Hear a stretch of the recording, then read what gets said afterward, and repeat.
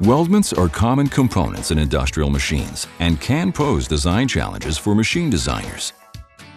From welded plate brackets to large frames made from structural steel, SOLIDWORKS has the tools to swiftly create and accurately document your weldment designs to meet those ever-tightening production schedules. Creating welded frames in SOLIDWORKS is easy. 2D and 3D sketches are used to define the basic framework.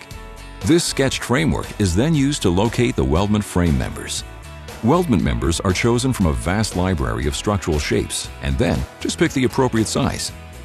Next, related sketch segments are selected to form groups which capture intelligence like corner treatments and trimming conditions. Individual groups can be aligned, rotated or positioned relative to the sketched framework. And that's it. SOLIDWORKS creates the frame and automatically does all of the trimming. Additional plate steel can be sketched and extruded just like you would add any other features in SOLIDWORKS. And as your design progresses, mounting holes are added using the Hole Wizard, eliminating the time-consuming task of looking up standard hole sizes. Industry-specific workflows and tools are available to help quickly create features like end caps and gussets. Built Intelligence automatically sizes the end cap based on the selected face, and its position can be adjusted to be inside or outside of the tube. For gussets, just select the two supporting faces, key in the size and thickness, select its position, and SOLIDWORKS takes care of the rest.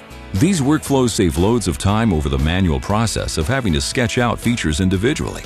No weldment is complete without accurate weld bead definition, and with SOLIDWORKS, this is as easy as a swipe of the mouse across the faces that are to be welded. Even weld symbols can be defined during this step to provide precise manufacturing instructions. All of this information is automatically being collected. Each weld bead is evaluated for size and length. Cut list information is automatically calculated, and identical weldment members are sorted into properly named folders. This automatic grouping is a huge time saver versus a manual process. Finally, for communication to the shop, drawing documentation can easily be created. Weldment cut lists can be added.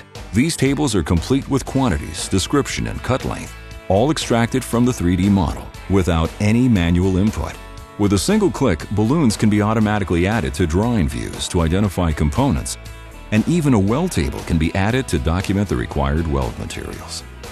Oftentimes, weldments are detailed in two stages, the weldment drawing and the machining drawing. SOLIDWORKS fully supports this workflow, allowing you to have weldment drawings with accurate cut lists, as well as all of the information to properly communicate the machining information for the finished part. Weldments are an important aspect of industrial machinery design, and SOLIDWORKS strives to provide powerful tools that allow you to easily create and document high-quality weldment designs so your complex machinery gets done right and on time.